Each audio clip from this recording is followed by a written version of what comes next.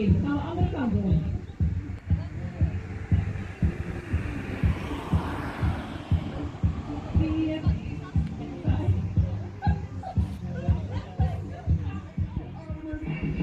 vuist te maken.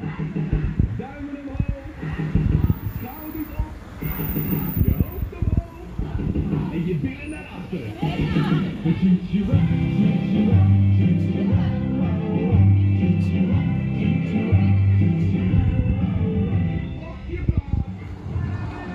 Gaan we even appeltjes plukken.